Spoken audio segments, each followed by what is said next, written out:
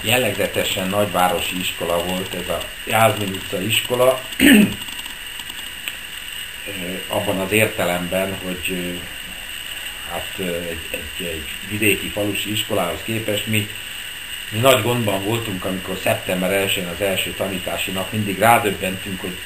ismét elfelejtettünk a nyár folyamán rovar és növénygyűjteményt összeállítani, amit Ludrovski tanár úr, a biológia tanár kiadott számunkra nyári feladatnak, úgyhogy az első tanítási nap előtti egy-két óra azzal telt el, hogy ott a környéken riadt fiatalok rohangáltak, és susterbogarakat, meg svábogarakat, meg pókokat gyűjtöttek, és uh, ecetfa leveleket, meg hát amit lehet egy városba összegyűjteni. Emlékszem, hatodikos lehettem talán, vagy lehet, hogy még csak ötödikes, 1963 körül lehetett. Az iskolának volt egy zenekara, hát egy nagyon egyszerű kis zenekart kell elképzelni, néhány nagyobb fiú, nyolcadikosok, asztallapból, rajz, táblalapból gitárokat ki faragtak, és valami egyszerű kis dobot szereztek, és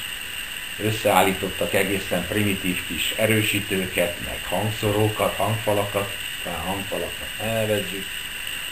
És hát volt egy iskolai buli, ahol ők felléptek, a nevükre már nem emlékszem, és eljátszottak egy számot, amitől hát az egész iskolai közönség megvadult, mai napig emlékszem erre számra, egy Ma Baby Does the Hanky Panky című akkori nagy sláger volt, amire hát az úgynevezett gyökértáncot jártuk, ami az volt a lényege, hogy nem a hagyományos összefogós tánc, nem párban táncolni, hanem mindenki hát gyakorlatilag vonadott erre a, a zenére, boldogan és örömtől túlzadóan. De hát a zenekar a nagy siker után, a nagy viharos taps után és kiabálások után bejelentette, hogy sajnos ők csak egy számot tudnak, nem volt elég idejük felkészülni a koncertre, hogy mindenki ordítva között velük, hogy ez nem probléma, ez nagyon jó ez a szám, ezt nyugodtan játszák még akár többször is le, úgyhogy egész este a My Baby Does the Hanky Panky című szám ment, és hát mindenki rendkívül boldogan ropta rá a táncot. Egyébként a Kohut Tibi barátomnak a, az egyik osztálytársa, egy bíró nevezetű, az öccse volt az akkoriban alakult Atlas együttes szologitárosának, Bíró Dokinak, és ők akkor a Kecskeméti utcában, a, a mai Ibl palotában, tehát az akkor is Ibl palota volt, vízműve klubja volt, ez az ötös klubban pont szembe van, ott játszottak szombatonként, 10 forintos belépő mellett lehetett oda bejutni, és hát én, mint kisebb fiú, a Tiborékkal és a Balázsral, a Kozma Balázsral együtt elmentem néhányszor ezekre az Atlas koncertekre, és hát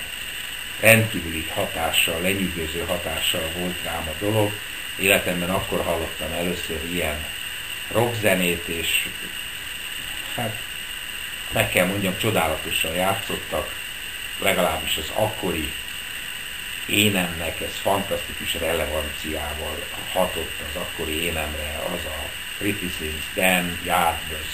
Rolling Stones muzsika, amit ők ott előadtak. A klinika kertben a barátaim általában egy-két vagy néhány évvel idősebbek voltak, ezért hát mint egy mentoraim voltak a tekintetben, hogy merre kell haladni a divat irányzatokat, a zenei irányzatokat is, egyéb kamaszos fiús dolgokat tekintve.